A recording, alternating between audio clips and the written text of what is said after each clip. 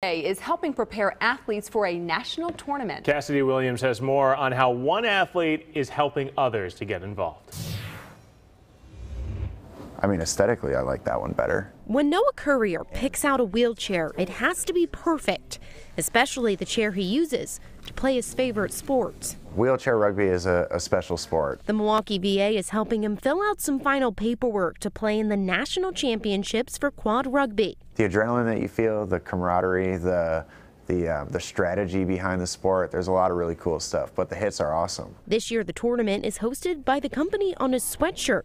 It's the company he founded, Oscar Mike. The apparel company helps other veterans discover adaptive sports. Currier says his discovery saved his life. I fell into a depression um, for a long time, and adaptive sports is what pulled me out of it. Currier served in the Marines for five years. Three days after returning home, he got in a bad car accident. It's a really hard pill to swallow, but if you are going through that, meeting other people who have been through the same thing you have um, is, is going to be a, a huge piece of your recovery. His company helps pay for the costs of other athletes competing, helping others find recovery outside of the hospital. Uh, your first time is it's a rush.